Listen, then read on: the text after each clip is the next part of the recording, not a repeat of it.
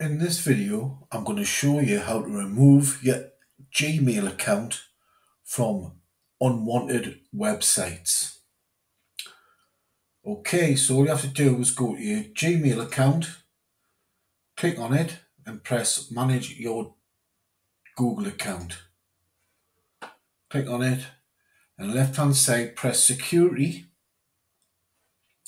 Then you scroll down to your connections to third party apps and services. Click on that. Then there's the connected website. So let's say I want to disconnect that one.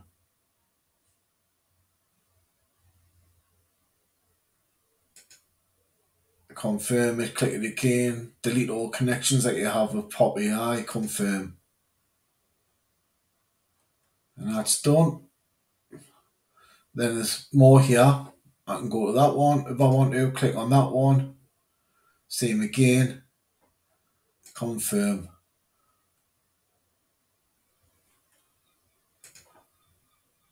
Yeah, and I can do the other ones. So that's how you do it. I hope you like the video. Please give it a thumbs up to help you anyway. Thanks now. Bye bye.